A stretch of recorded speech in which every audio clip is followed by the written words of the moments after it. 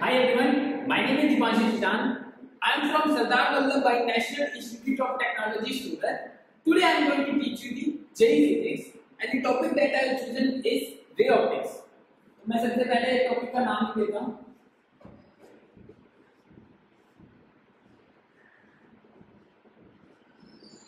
Chapter start करने से पहले ना ये समझते कि हमें चीज़ें दिखाई कैसे देती जैसे मार्कर है ये मुझे कैसे दिखाई देता जो ट्यूबलाइट से रेज आ रही है, वो उसको स्ट्राइक करके मेरी आँखों में जा रही है, इसकी वजह से मुझे मार्कर दिखाई दे रहा है। तो जो ट्यूबलाइट है, वो क्या है? वो एक ल्यूमिनस ऑब्जेक्ट है। और ये जो मार्कर है, वो मेरा क्या है? नॉन ल्यूमिनस ऑब्जेक्ट तो हमने ये समझ लिया कि हमें चीज़ें कैसे दिखाई देती है।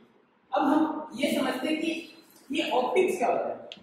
Optics is a branch of physics in which we learn about, we study about light और behavior of light तो ये क्या है?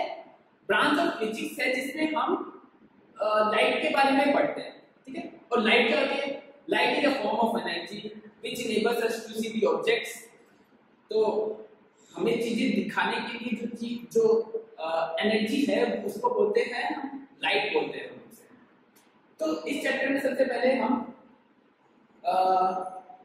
ऑप्टिक्स की दो ब्रांचेस होती हैं। पहली ब्रांच है रे ऑप्टिक्स दूसरी ब्रांच है वेव ऑप्टिक्स हम जानते हैं कि लाइट का डुअल नेचर होता है पार्टिकल नेचर और वेव नेचर तो हम सिर्फ़ इस चैप्टर में पार्टिकल नेचर कंसीडर करते हैं लाइट का। तो और वेव ऑप्टिक्स में हम वेव नेचर कंसीडर करेंगे तो सबसे पहले हम कुछ टर्म्स के बारे में सीख लेते हैं कि इसमें काफ़ी सारे इंपॉर्टेंट टर्म्स हैं, वो पहले हम उसके बारे में पढ़ लेते हैं। तो मैं टॉपिक का नाम देता हूँ, जो हमारा पहला टॉपिक है। Some important terms in ray optics तो इसको समझने से पहले मैं डायग्राम ड्रॉ कर देता हूँ उससे काफ़ी बेटर क्लैरिटी मिलेगी आपको। तो नेक्स्ट से एक हमारे पास स्फेरिकल मिरर है, ठीक है? मिरर को हम ऐसे बनाते ये मिरर भी हो सकता है स्फेरिकल मिरर भी हो सकता है। ठीक है?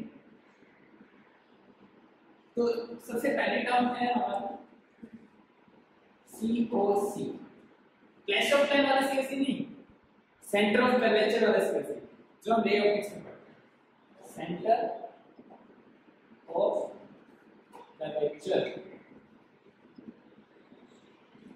centre of curvature क्या होता है? Centre of the spherical object तो यहाँ पे स्फीयर तो आपको नज़र नहीं आ रहा होगा, लेकिन अगर हम इसे ऐसे इमेजिन करें तो हमें स्फीयर भी नज़र आएगा।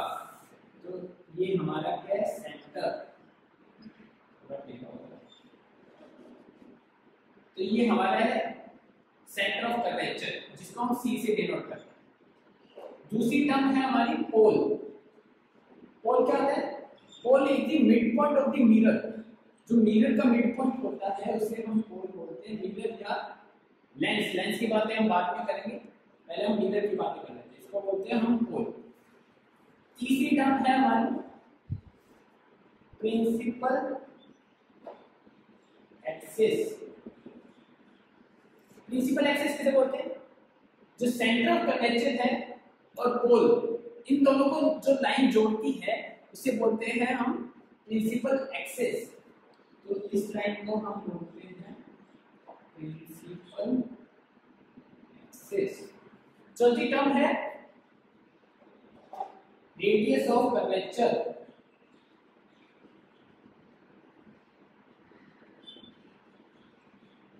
जिसको हम आर से डिनोट करते हैं। रेडियस ऑफ़ कर्वेचर क्या होता है? और सेंटर ऑफ़ कर्वेचर के बीच की डिस्टेंस को हम रेडियस ऑफ़ कर्वेचर बोलते हैं। सिंपल है? इसमें कुछ हार्ड बात नहीं पांचवी टर्म है हमारी फोकल पॉइंट और हम इसे फोकस की बोलते हैं। फोकस क्या होता है?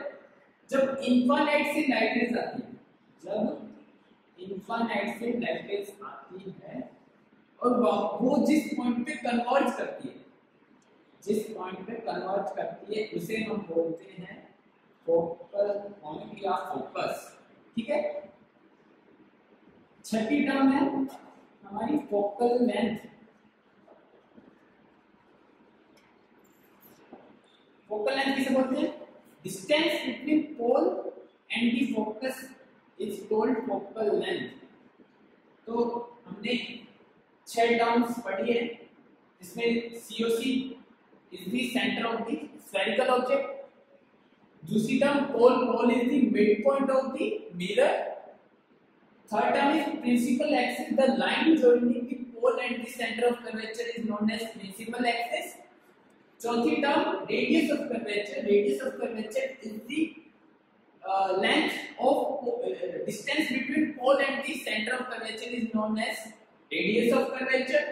पांचवी term focus focus is the point uh, light from infinite converge at a point is called focal point. और छठी टर्म है फोकल लेंथ जो पोल और फोकस के बीच की डिस्टेंस होती है उसे हम बोलते हैं फोकल लेंथ तो हमने काफ़ी इंपॉर्टेंट टर्म्स के बारे में सीख लिया। अब हम सीखते हैं रिफ्लेक्शन क्या होता है? रिफ्लेक्शन क्या होता है? इनके बारे में पढ़ते हैं।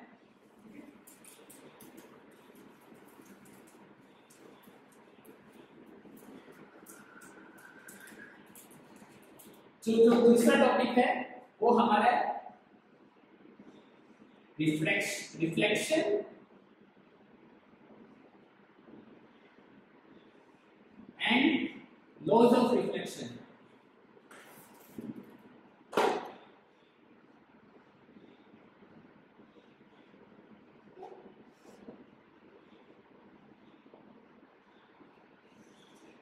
तो इसको भी पहले डायग्राम से समझते कि रिफ्लेक्शन क्या होता है लॉज ऑफ़ रिफ्लेक्शन क्या होता है। तो मैं डायग्राम बना लेता हूँ। ये है हमारा मिरर।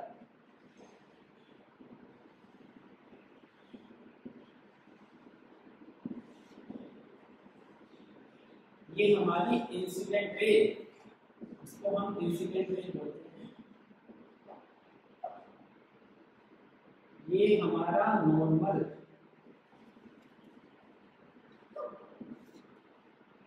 और ये जो लाइट स्ट्राइक करके वापस देती है उसे बोलते हैं हम reflected ray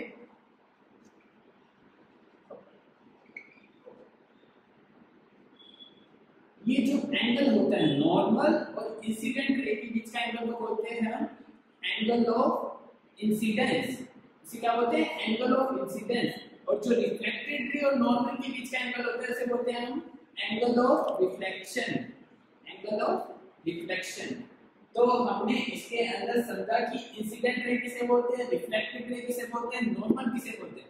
Normal is the line between line perpendicular to the plane mirror उसे हम नॉर्मल बोलते हैं। Angle of incidence is the angle between incident ray and the normal और रिफ्लेक्टेड रे और नॉर्मल के बीच के एंगल को बोलते हैं एंगल ऑफ़ रिफ्लेक्शन ठीक है? तो हमने ये समझा। अब हम समझते हैं what are the laws of reflection हम, अब लॉज ऑफ़ रिफ्लेक्शन समझेंगे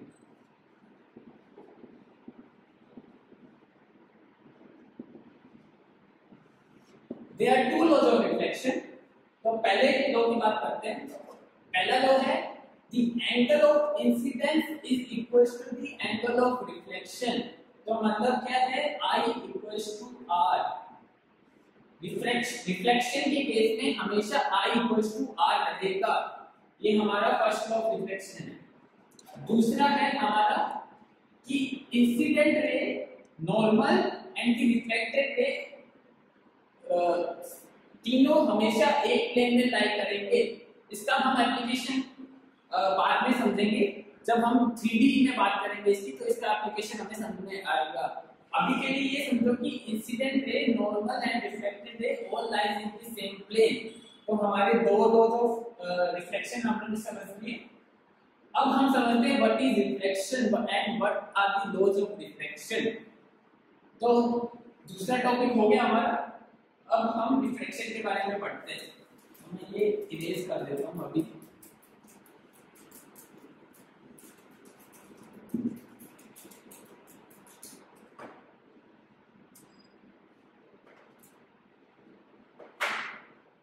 तीसरा टॉपिक है हमारा reflection reflection he reflection reflection and laws of reflection इसको भी हम पहले डायग्राम से समझते हैं। ठीक है? तो मैं इसमें एक डायग्राम प्लॉट करता हूँ। नेक्स्ट से ये मीडियम वन है। एग्ज़ाम्पल ए एन है ये हमारी। ये मीडियम टू है। जो नेक्स्ट से वोटर है हमारा, ठीक है? ये हमारी इंसिडेंट रे है।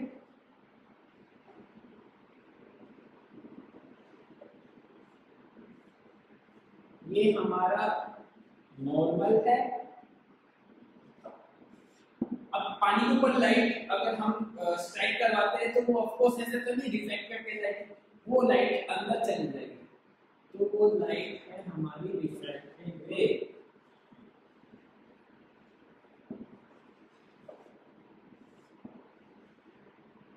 जो एंगल नॉर्मल और इंसिडेंट के बीच का एंगल होता है, उसे बोलते हैं एंगल ऑफ़ इंसिडेंस जो हमने रिफ्लेक्शन के केस में भी पढ़ा था।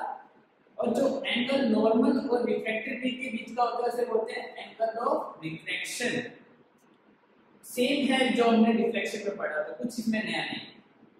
तो अब हम समझते हैं कि व्हाट इज़ रिफ्लेक्शन इसकी डेफिनेशन की बात करें रिफ्लेक्शन है क्या?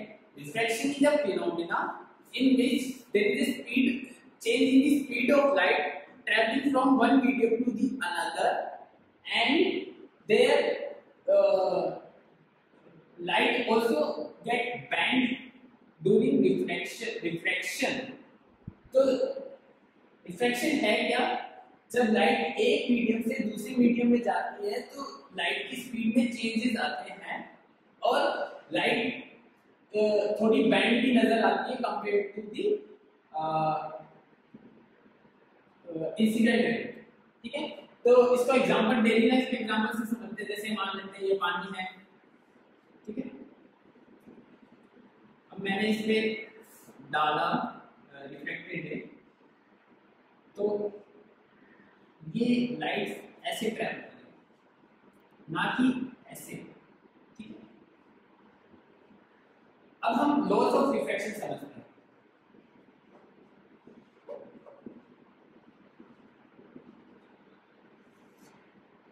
जो पहला लॉ है, वो रिफ्लेक्शन जैसा ये लॉ है कि जो इंसिडेंट रे है, जो नॉर्मल है और रिफ्लेक्टेड रे वो तीनों एक ही प्लेन में लाई करेंगे, ठीक है? तो जो पहला लॉ है और वो सेम है रिफ्लेक्शन वाले लॉ के। और दूसरा लॉ है, दूसरा लॉ थोड़ा इंपॉर्टेंट है, इससे काफ़ी सारे न्यूमेरिकल्स भी बनते हैं। तो दूसरा लॉ है कि the ratio of sine of angle of incidence ratio of sine of angle of incidence ratio of sine of angle of incidence equal to the refractive index index